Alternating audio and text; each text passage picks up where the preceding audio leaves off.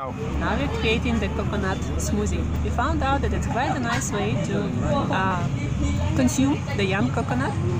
If you scratch out with the spoon the, uh, The meat. the meat with the thin stripes, they will be floating in the water like that and they're really soft. They easily go through the straw.